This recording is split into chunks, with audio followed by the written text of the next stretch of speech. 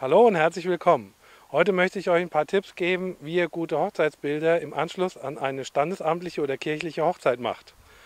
Ähm, wichtig dafür ist die Location, die ihr dann aussucht. Und die solltet ihr auf jeden Fall im Vorfeld schon mal euch angeschaut haben. Und zwar auch zu der Uhrzeit, wann ihr die Fotos tatsächlich machen wollt. Ähm, wichtig ist immer der Hintergrund. Das heißt, ihr besucht die Location und dann schaut ihr euch tatsächlich um. Habt ihr irgendwas im Hintergrund, was euch stört? Wie Stromleitungen, Verkehr oder hässliche Gebäude, die einfach dastehen, die man ganz schnell übersehen kann. Ihr habt eben im Hintergrund die Autos gesehen und an dieser Stelle muss ich sagen, für Hochzeitsfotos gehen vorbeifahrende Autos gar nicht. Deswegen breche ich an dieser Stelle diese Location ab und wir fahren einfach mal weiter und gucken mal, was sich besser eignet. In diesem Sinne, bis gleich. So, den Verkehr haben wir jetzt ausgeblendet. Äh, wir haben auch sonst nichts mehr Störendes im Hintergrund vielleicht mal den einen oder anderen Spaziergänger, aber das wäre auf, bei Hochzeitsbildern kein Problem. Damit muss man immer rechnen. Aber wir haben ein anderes Problem und zwar die Sonne. Die Sonne scheint mir jetzt mehr oder weniger schräg ins Gesicht, blendet mich. Da sieht man auch, dass ich die Augen ein wenig verkneifen muss. Und was ein weiterer Nachteil ist, die Sonne macht ein ungünstiges Licht und gerade die Haut sieht da nicht gut aus. Man kriegt unter den Augen werden Ränder angezeigt. Es ist allgemein kein schönes Licht. Ihr werdet aber das Problem haben, dass ihr in den Sommermonaten oftmals äh, zu Tageszeiten die Fotos machen wollt oder müsst, äh, dass die Sonne halt wirklich äh, das Ganze sehr stark behindern wird. Deswegen habt ihr die einzige Möglichkeit, guckt euch im Vorfeld das Plätzchen an, wo ihr fotografieren wollt und stellt die Brautleute im wahrsten Sinne des Wortes in den Schatten. Ich gucke mich hier mal um. Leider finde ich hier kein Schatten. Ganz im Gegenteil, wir stehen eigentlich mitten auf dem freien Feld. Von daher ist das hier keine gute Location, um wirklich äh, tolle Bilder machen zu können bei strahlendem Sonnenschein. Ganz anders sieht das aus, wenn der Himmel komplett bedeckt ist. Dann wäre diese Option möglich. Deswegen würde ich sagen, wir hören hier auf und mal gucken mal an einer anderen Stelle, wo es besser passt.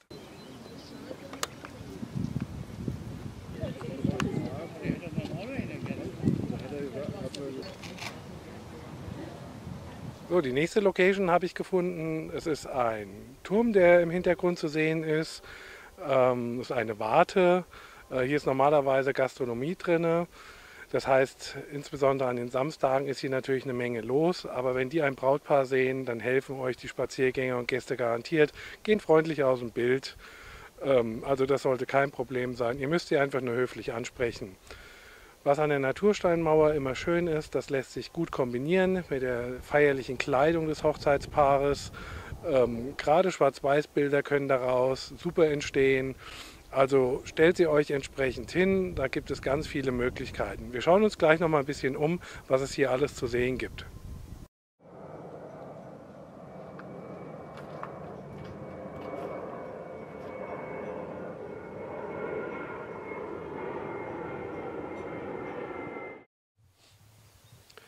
Sucht euch einfach schöne Hintergründe, wie hier haben wir eine Kapelle, dann wunderbar einen glühenden Strauch. Ähm, herrliche Farbkontraste gibt es. Und was ganz besonders toll ist, wir haben jetzt circa halb sechs und die Sonne geht so langsam unter. Das heißt, das Licht wird angenehmer, die Haut äh, sieht viel lebendiger und viel gesünder aus.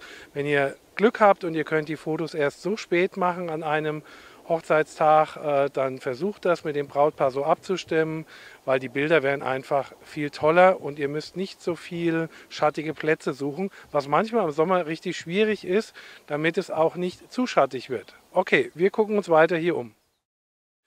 So, wir sind jetzt hier an der Vorderseite von der Kapelle angekommen und das Schöne ist, es ist so ein kleiner Balkon, der hier vorhanden ist. Hier könnt ihr die Brautleute richtig toll positionieren äh, macht viele Bilder von den beiden. Äh, sie werden es euch danken, weil es einfach eine traumhafte Kulisse ist und insbesondere für Schwarz-Weiß-Bilder ideal geeignet.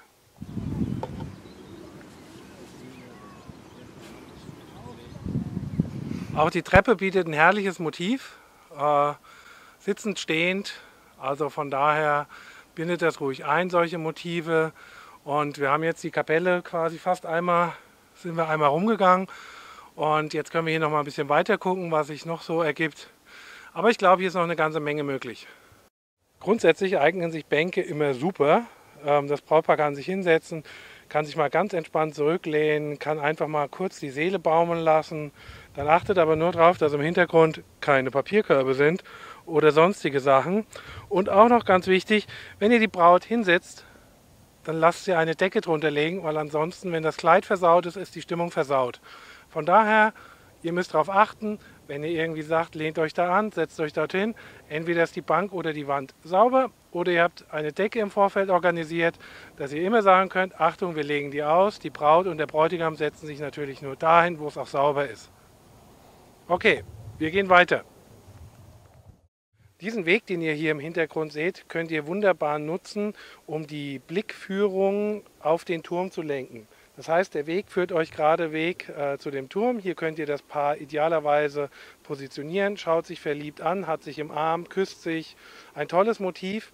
Aber Achtung, ihr seht im Hintergrund die Stromleitungen. Das müsst ihr unbedingt bei der Wahl eures Bildausschnittes beachten.